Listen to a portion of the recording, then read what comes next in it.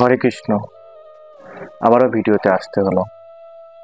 দীনকৃষ্ণ ঠাকুর, DJ খোকনের নামে case করল। কি কারণে? শুনলে আপনারা আর ঠিক থাকতে পারবেন না। কারণটা হচ্ছে, আমি প্রায় সাত থেকে আট মাস আগে একটা ঘটনা ঘটেছিল, আপনাদের হয়তো মনে আছে। সেটা সোশ্যাল মিডিয়াতে এত পরিমাণে ভাইরাল হয়েছিল ফেসবুক ইউটিউব থেকে শুরু করে সমস্ত জায়গাতে এত পরিমাণে ভাইরাল হয়েছিল। সেটা আমি একটা ভিডিও বানাই ডিজে খোকন চ্যানেল থেকে। সেটা এতদিন মনে পড়েনি, আট মাস প্রায় হতে চলল। কালকে এসে নোটিশ পেলাম যে আমার কালকেই হেয়ারিং আছে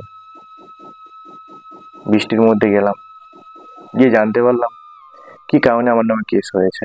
কারণটা হচ্ছে আমি নাকি দীনকৃষ্ণ ঠাকুর গান করে ফিরছিলেন। আমরা ছ সাতজন যাদের নাম দিয়েছে, তারা সবাই মিলে নাকি ওকে ধরি। ধরে বলি যে তোকে মেরে দেবো। আরও আলাদা আলাদা গালাগালি করি। পান্নাসের কথা বলি যে তোকে বাঁচার অধিকার নেই, তুই ভণ্ড সাধু। আর অনেক কিছু বলি। বলার পরে সে নাকি ওখান থেকে পালিয়ে যায়। দীনকৃষ্ণ ঠাকুর ওখান থেকে পালিয়ে যায়। গিয়ে বাড়িতে পালিয়ে যায়, নিজের ঘরে। তা বাড়িতে যখন চলে যায়, তারপরে নাকি আমরা রাত্রেবেলা ফের ছ সাতজন মিলে যেটা কেসে লিখেছে, যেটা উকিল আমাদেরকে বলল বা আমাকে বলল, বাড়িতে গিয়ে আবার নাকি তাকে কলার ধরে টেনে নিয়ে আসি। কি বুড়ো ঘাটা হনুমান মন্দির না কোথায়? ঠিক আমি তো জীবনে যাইনি, অতটা আমি জানি না জায়গাটা, কোন এরিয়ার মধ্যে পড়ে। তবুও বলছি, আমাকে এরমভাবে কেস দিয়েছে। অনেকগুলো ধারাতে কেস হয়েছে। যাই হোক, তা ওখান থেকে ওই মন্দিরেতে আমরা নিয়ে যাই। মানে ওর বক্তব্য এটাই। ওখান থেকে আমরা নিয়ে যাই। নিয়ে গিয়ে মারতে মারতে কলার ধরে নিয়ে যাই। ওখানে কি মেরে দেওয়ার চান্স ছিল মানে ওর, আমরা নাকি মেরে দেবো বলে পরিকল্পনা করেছিলাম। আমি তো নিজেই জানি না যে কোন জায়গাতে ঘটেছিল, কারা নিয়ে গিয়েছিল, কোন জায়গাতে তাকে সেরকমভাবে ছুটে মানে পালানোর ব্যবস্থা মানে সে পালিয়েছিল, পুলিশ টানতে টানতে নিয়ে যাচ্ছিল। আমার জানা ছিল, ভিডিও ভাইরাল হয়েছিল সোশ্যাল মিডিয়াতে সেটা নিয়ে ভিডিও বানিয়েছিলাম। কেন?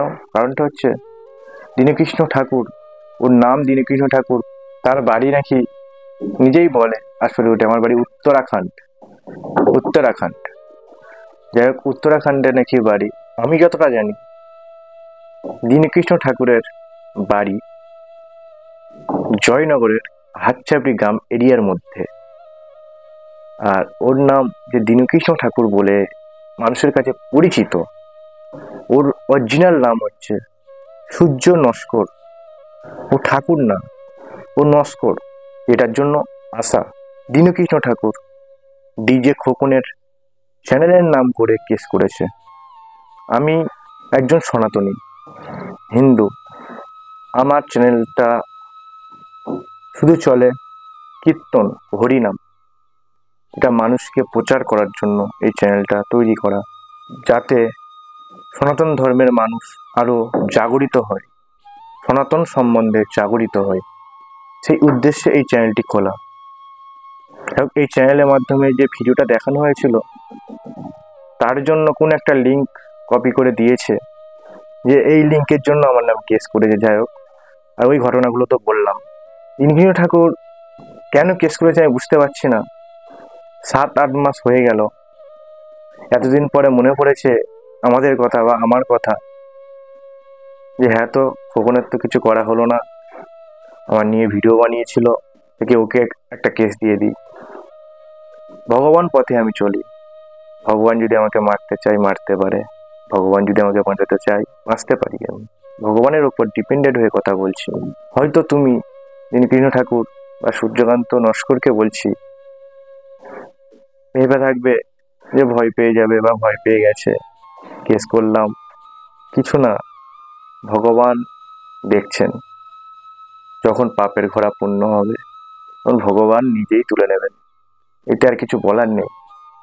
কিন্তু যেই কারণে ভিডিওর মাধ্যমে আসা, যে সমস্ত মানুষকে জানানোর জন্য, সমস্ত আমার এই চ্যানেলের যারা দেখো ভিডিও বা আরও যারা আছো চ্যানেল ছাড়া যারা ভক্ত আছো সনাতনী, তাদের উদ্দেশ্যে একটা কথাই বলব। কৃষ্ণ ঠাকুর আবার শুরু করল। সবাই চেপে গেছিল। ফেরও গান টান করছিল শুনলাম। ফের শুরু করল কেস দিয়ে। আমিও তাকে নিয়ে কোনো ভিডিও আর বানাইও নি। চাইনি তার ভিডিও বানাতে যে সনাতনী সম্বন্ধে ভুল, ভগবান সম্বন্ধে ভুল, স্বাস্থ্য সম্বন্ধে ভুল কথা, স্বাস্থ্য সমস্ত স্বাস্থ্য ভুল বলে প্রমাণ দিচ্ছে, কি করে জানি না। নিজের বই পড়তে হবে। মানে ওর নিজের বই পড়তে হবে নিজের বই বানিয়েছে, সেই বই পড়তে হবে, তাহলে আমরা শিক্ষাদান পাবো মানে শিক্ষা পাবো আমরা। আমাদের আগেকার যে প্রাচীন গ্রন্থ বা বেদ, পুরাণ, উপনিষদ, গীতা, এগুলো ওর কাছে ভুল। যাই হোক যাতে ধর্মের জন্য আমার এই যে কেসটা হলো, এই ধর্মটাকে রক্ষা করার জন্য।